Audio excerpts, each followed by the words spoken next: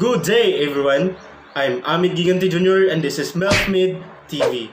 So, today's video guys, gagawa tayo ng Bluetooth headset. Gamit lang yung old Bluetooth speaker natin or yung mga Bluetooth speaker natin na hindi na natin ginagamit. So, without further ado, let's get started. Catch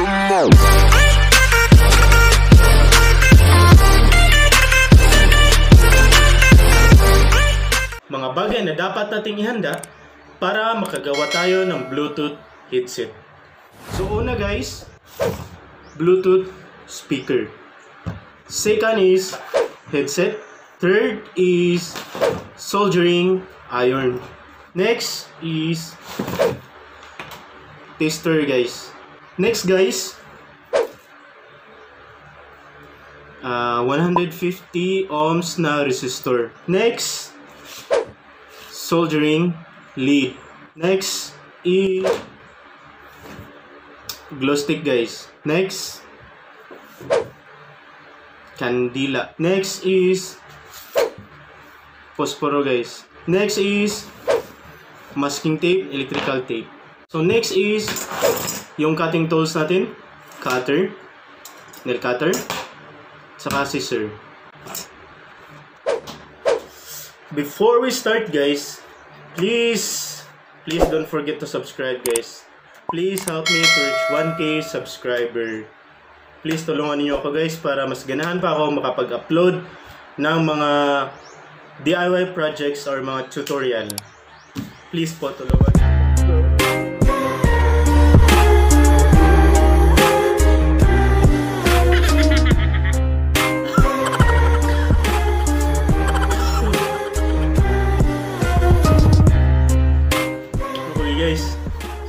Tayo.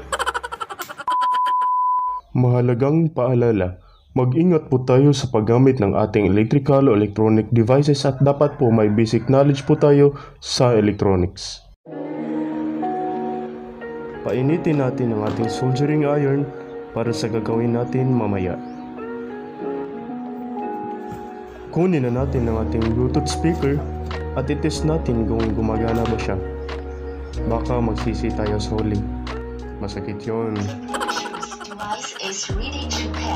Ayun guys, gumagana nga siya. Let's unscrew everything guys. Buksan na natin siya.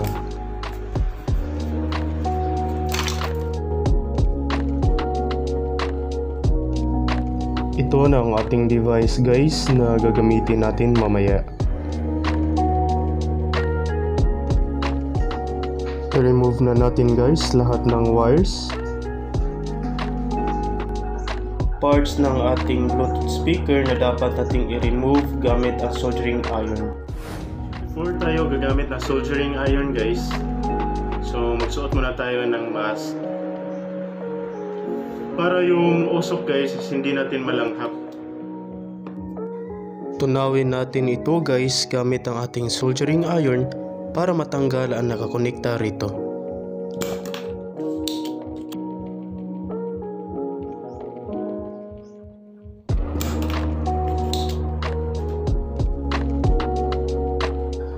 Kapag natunaw at na-remove na natin lahat na nakatikit na mga lead, dahan-dahan natin tanggalin ang mga ports nito dahil dito natin ikakabit ang mga wires ng ating earphone.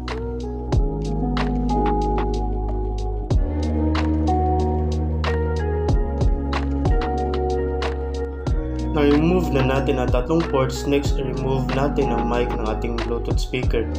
Dahil ang gagamitin nating mic ay ang sa earphone natin.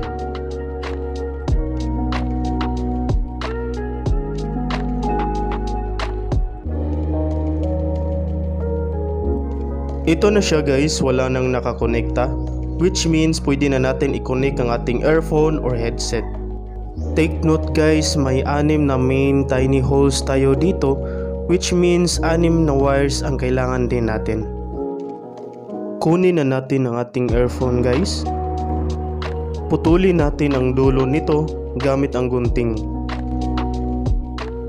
Balatan na natin ang dulo ng ating earphone wire gamit ang soldering iron. Huwag masyadong diinin para hindi masunog ang mga maliliit na wire sa loob.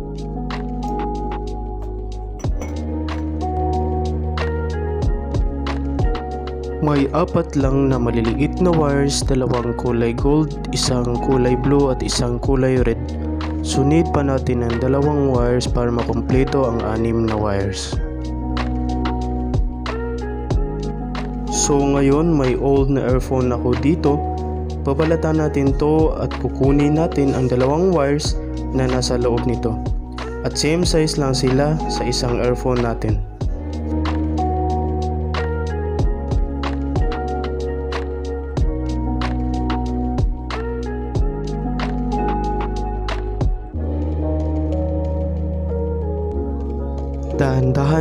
Nating ang isa nating earphone gamit ang soldering iron. Dahan-dahan lang guys para hindi masunog sa loob ang mga maliliit na wires.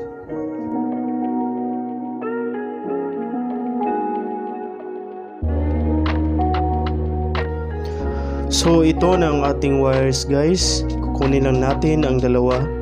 Dahan-dahan silang paghiwalayin para hindi masaktan yung isa't isa. I mean para hindi maputol sila. Ito pala ang male earphone jack natin guys at ang kanyang diagram so take note of that. Babalatan natin siya gamit ang soldering iron. Mag-ingat lang guys para hindi kayo mapasok.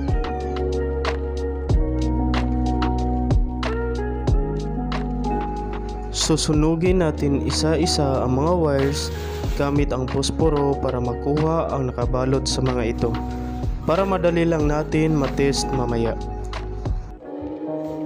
Kunin na natin ang ating multimeter or tester at iset natin sa continuity mode X1 gaya ng nasa screen. Take note sa ating diagram para hindi kayo malito guys. Sundin nyo lang ako guys. So nakita natin na may reading. So it means yung red wire at si microphone are connected each other. So next guys, pansinin nyo yung arrow means sa left audio siya.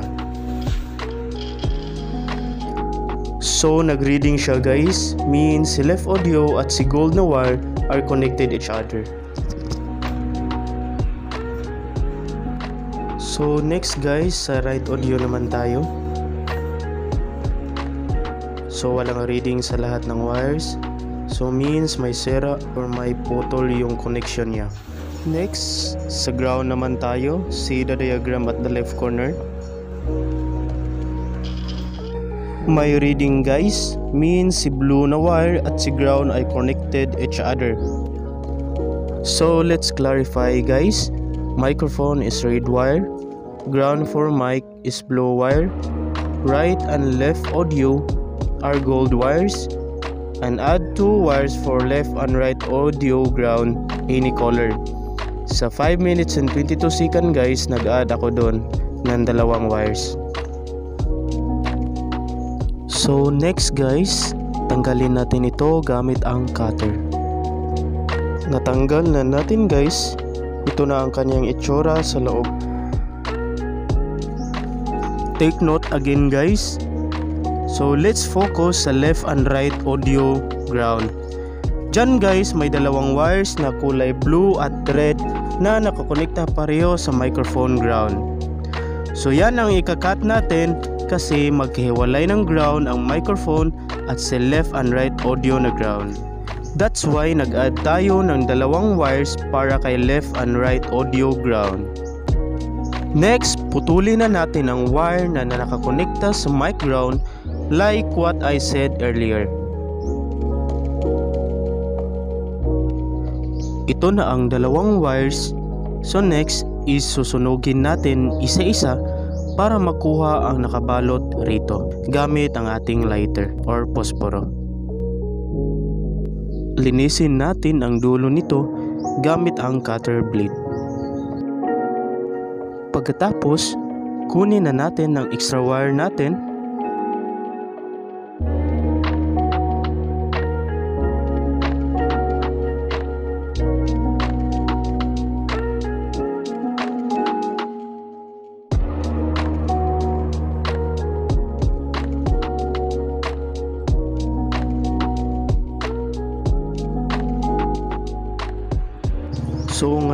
guys, i-connect na natin isa-isa ang mga wires natin.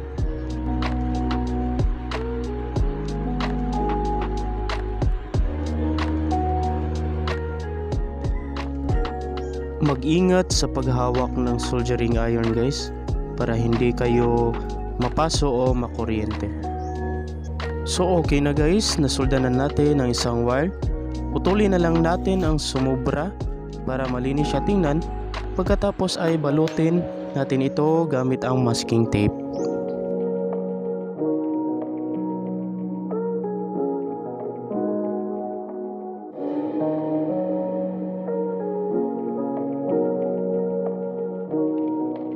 Pagkatapos sa kabila naman, same process lang po.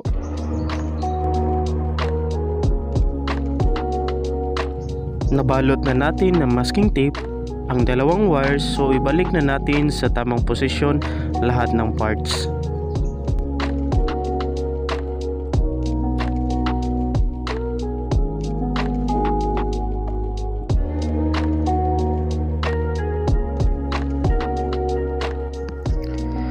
Takpan na natin guys pagkatapos masit sa loob ang mic at mga wires. Ngayon guys, balutin natin ng masking tape ang wire natin para malinis tingnan.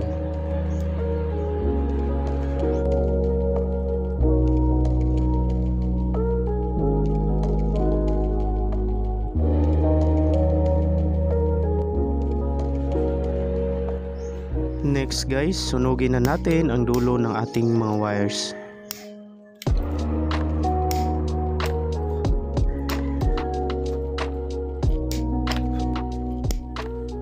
Next guys, kunin na natin ang ating Bluetooth PCB board at ang dalawang resistor natin at ilagay natin sa right audio output ang ating resistor. At isa naman sa left audio output na L plus na sign.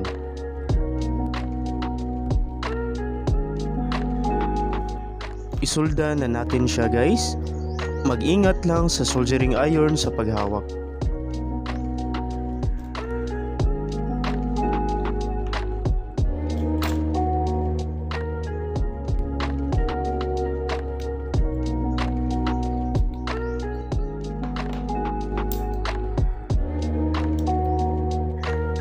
Kunin na natin ang ating earphone at i-connect ang dalawang gold wires sa R plus at sa L plus. It doesn't matter guys kung saan ang left and right sa earphone natin. Ang importante is makonect natin ang dalawang gold wires. So ngayon guys, sa audio ground muna tayo or sa arm negative muna natin uunahin. Ayusin natin guys ang pagsolda para hindi mag-short ang mga wires. Next, i-connect na natin ang isa nating gold wire sa resistor natin. Ayusin natin guys ang pagsolda para hindi matanggal ang wire.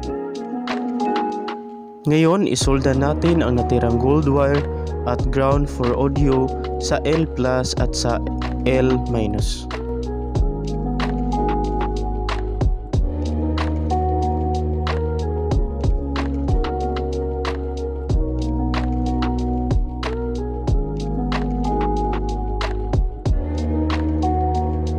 So ito na siya guys. Dapat nakadikit ng maayos ang mga wires natin. Next guys, sa mic naman tayo. Connect natin ang red wire sa mic positive. Ngayon, isolda natin siya ng maayos. Next guys, sa blue wire naman tayo o sa mic ground natin. Ngayon guys, isolda na natin siya.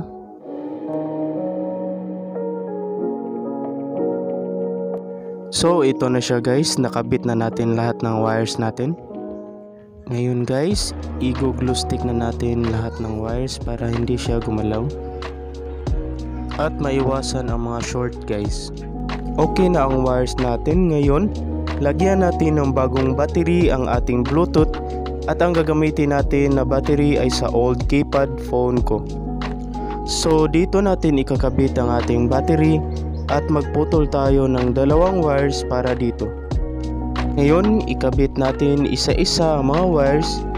Ang black na wire ay sa negative at ang red naman ay sa positive ng battery natin. So ito na siya guys, nakakabit na ang ating battery sa bluetooth natin. At the same time, nag-add ako ng switch kasi nasira ang dating switch niya so basic lang ito guys. Next, lagyan natin ng glue stick ang board at indicate ang battery natin.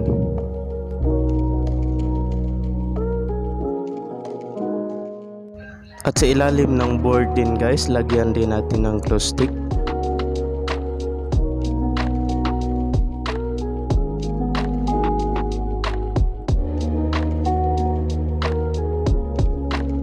So okay na siya guys, ito na ang kanyang itsura. So ngayon guys, balutin natin ng electrical tape ang buong bluetooth natin. So ngayon guys, natapos na rin natin ang ating Bluetooth earphone. So ito na ang kanyang itsura. So ngayon, ititest na natin siya. So I have my cellphone here. So iko-connect natin siya gamit yung cellphone natin. So ngayon guys, iko-connect na natin yung Bluetooth earphone natin sa ating cellphone.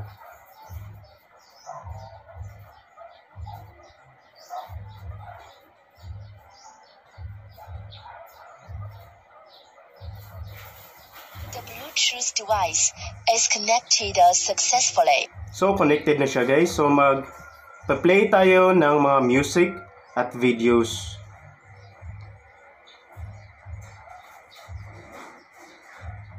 So, ipa-play natin tong Adventures uh, Himitsu guys.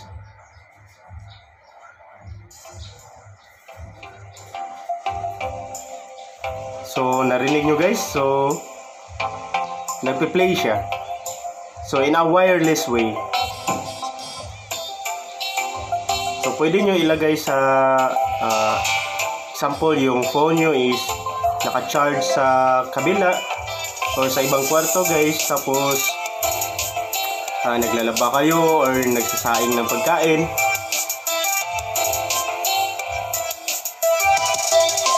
So, next guys, next, ah, so next guys, ito naman at upbeat drum. Upbeat drum.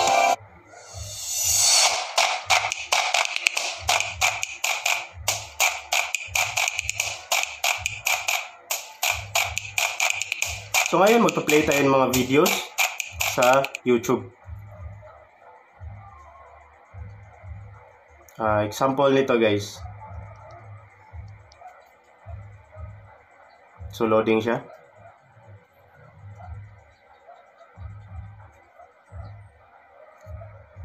Pa-play natin guys. Tapos ko lang manood ng Huawei P40, P40 Pro, and So, P40 example yan, guys. Launch event. Doon sa nakita ko no, ito na ata ang pinakamagandang phone na lumabas ngayong taon. In terms of specs, tinalo niya si Samsung Galaxy S20 Ultra at si Oppo Find X2 Pro. Actually, tinalo niya na lahat. Grabe yung specs niya, pati si iPhone 11 Pro Max. Ang layo. So nakita nyo naman guys, so narinig nyo na gumagana talaga yung ating earphone. Lalo na sa camera niya. Guys, same pa rin, powered by Leica. Grabe, ibang level na talaga si Huawei ngayon. Alam niyo yung imposible last year, naging posible na this year. Dahil sa mga inilabas nilang specs para sa phone to. Diba last year, Yan, example, this one guys. So, play natin. Para makita nyo talaga guys, or marinig nyo guys na gumagana talaga siya.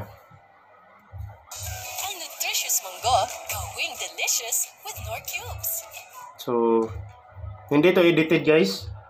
So, ito. So, walang music, di ba? Wala kayong narinig. Pero, kapag inilapit ko to sa ating mic ng ating camera, so, maririnig nyo guys yung boses o tunog ng ating earphone.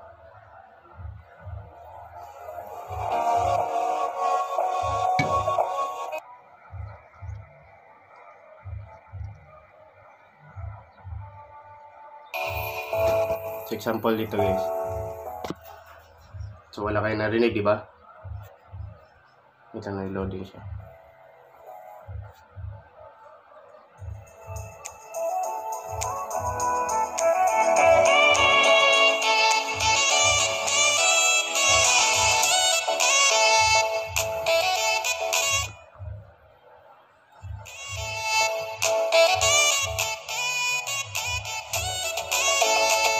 Ayun guys, gumagana nga 100% yung ating Bluetooth earphone.